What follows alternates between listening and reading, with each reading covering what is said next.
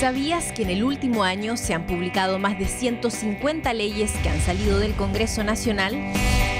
El 17 de marzo entró en vigencia la Ley 21.541 que autoriza a los prestadores de salud a efectuar atenciones mediante telemedicina en condiciones de seguridad y con respeto a los derechos de la salud de las personas.